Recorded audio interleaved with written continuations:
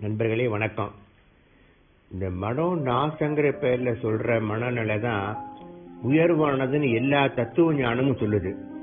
புத்தரும் இதைத்தான் நிர்வாண நிலைங்கிறாரு. இதுதான் புத்த நிலை. புத்தருக்கு அப்புறம் வந்தவங்க இப்படித்தான் இந்த புத்த நிலைன்னு சொல்றாங்க.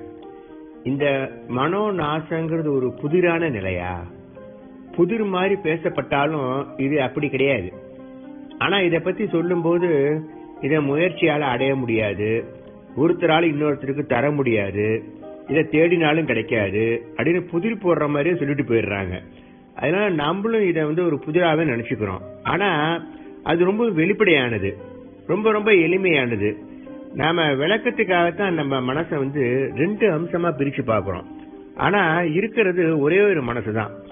அது செயல்படுற வகையை பொறுத்து அத மனோ லயம் மனோ நாசம் அப்படின்னு ரெண்டு பிரிவாக்கி வச்சிருக்கிறோம். இதுல இந்த மனோ நாசங்கிறது என்னவோ மனம் அழிந்து போன நிலை மாதிரி அர்த்தத்துல அமைஞ்சு போச்சு. மனோ நாசங்கிறத விட மனோ லய நாசம் அப்படிங்கிறது வந்து நம்ம விளங்கிக்கிறதுக்கு கொஞ்சம் வசதியா இருக்கும். மனோ நாசங்கிறது தான் உண்மையில மனோலய நாசத்தை தான் குறிக்குது. இப்ப தண்ணீரோட வடிவம் என்ன? நீரை எந்த பாத்திரத்துல விடுறோமோ அந்த பாத்திரத்தோட வடிவத்தை நீர் எடுத்துக்குது. இப்ப டம்ளர்ல ஊத்துனா டம்ளர் வடிவத்துல இருக்குது. பாட்டில்ல ஊத்துனா பாட்டில் வடிவத்துல இருக்குது.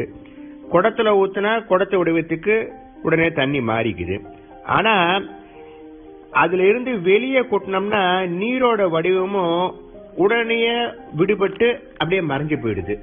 இப்ப பாத்திரத்துல ஊத்துன தண்ணிய வந்து நம்ம அந்த பாத்திரத்தோட அப்படியே குளிர் ஓட்டுறோம்னு வச்சுக்கோங்க. பாத்திரத்துல இருந்த தண்ணி என்ன ஆகும்? அப்படியே அது பாத்திர வடிவில பனிக்கட்டி மாதிரி ஆயிடும். பனிக்கட்டி ஆனதுக்கு அப்புறமா அத பாத்திரத்திலிருந்து வெளியில கொட்டினா என்ன? அது திரும்ப பாத்திர வடிவிலிருந்து விடுபடுறதுக்கு கொஞ்சம் காலதாமதம் ஆகும். அந்த பனிக்கட்டி உருகி திரும்ப தண்ணி ஆனதுக்கு அப்புறம் தான் அது தன்னோட வடிவை அப்புறம் மாத்திக்குது. இப்படி நம்மளோட மனசோட இயல்பான நிலை வந்து ஒரு திரவமான தண்ணி மாதிரி தான் உரையாத தண்ணி மாதிரி தான் இருக்குது. இப்ப மனோலயங்கிறது இந்த திரவ நிலையில இருக்கிற மனசு உரைநிலைக்கு வந்து எதனாச்சும் ஒரு வடிவத்தை எடுக்கிற மாதிரி தான் ஆகும். நம்ம மனசு எதனாச்சும் ஒரு அனுபவத்தை அடையறப்ப மனசு வந்து அந்த அனுபவத்தோட வடிவத்தை அப்படியே எடுத்துக்குது. இப்படி நம்ம மனசு எதனாச்சும் ஒரு அனுபவத்துல லயமாகித்தான் அந்த அனுபவத்தை அனுபவிக்குது. அந்த அனுபவத்திலிருந்து விடுபட்ட நிலையில அந்த லயமும் மறைஞ்சு போயிடுது அந்த வடிவமும் மறைஞ்சு போயிடுது.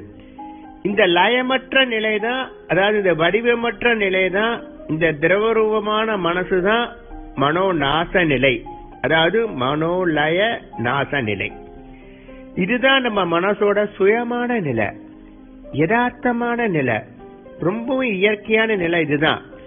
இது நம்ம முயற்சியால அடையிறது கிடையாது. இது இயற்கையானது. நம்ம இயற்கையாவே சொந்தமா அமைஞ்சிருக்குது. சாதாரணமா நம்ம முயற்சியால எந்த நிலைய சாதிச்சுக்கிட்டாலும் அதை ஏதேனும் ஒரு சந்தர்ப்பத்துல நம்ம அதை இழக்க நேரிடும். ஆனா இந்த இயற்கையான நிலையை இழக்கிறதுக்கு சாத்தியமே கிடையாது. ஏன்னா இது எப்பவுமே நம்ம கூடவே தான் இருக்குது. இதுதான் நம்மளோட சொந்த நிலையாக இருக்குது. இந்த மனோ நாச நிலை தான் நம்ம தேவைக்கு ஏற்ப மனோ நிலையாவும் கூட வடிவெடுக்குது. அதனால இந்த மனோ லய நிலை வந்து ஒரு தற்காலிக நிலை தான் ஒரு செயற்கையான நிலை தான் நம்ம தேவைக்கு ஏற்ப உருவான நிலை.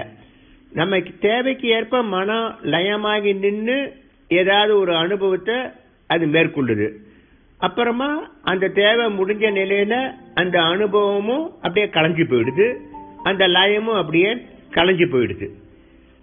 ஆரோக்கியமான மனநிலைங்கிறது இந்த மனோ நாச நிலை தான் அதாவது திரவ நிலை தான் ஆரோக்கியமான மனநிலைங்கிறது. லயத்தோட பிடிப்பு தளர்ந்த நிலையில சுதந்திரமா இருக்கிறது தான் இந்த மனோ லாச நிலை. நிர்வாண நிலை அடைஞ்ச ஞானிங்க எல்லாருமே இந்த மனோ நாச நிலையிலேயே அப்படியே நிலை பெற்று இருக்காங்க புத்தர்கள் இருக்கிறது கூட இந்த மனோ நாச நிலையில தான் இருக்காங்க. அதுக்காக இவங்களுக்கு மனோலயமே ஏற்படாது அப்படின்னு அர்த்தம் கிடையாது. உரைநிலை ஏற்படாத மாதிரியான ஒரு தற்காலிக மனோலயம் மட்டும் இவங்களுக்கு ஏற்படும். இந்த திரவ நிலைங்கிறது அதனால ஒரு செயலற்ற நிலை கிடையாது. தேவைக்கேற்ப செயல்படக்கூடிய நிலை தான் இது. இந்த செயலற்ற நிலை அப்படிங்கிறது கூட மனோ லயத்தோட ஒரு அம்சம் தான் மனோ செயலற்று உரைநிலைக்கு வர்றப்ப அது செயல் இல்லாம போயிடுது. அதே மாதிரி மனோ நாசத்துல வந்து செயல் இருந்தாலும் அது எல்லா செயலையும் இருந்து விடுபட்டு இருக்கிறதுனால அது செயலை கடந்த நிலையா சொல்லப்படுது. அதனால அது சுதந்திர நிலையாகவும் எல்லாத்தாலையும் போற்றப்படுது.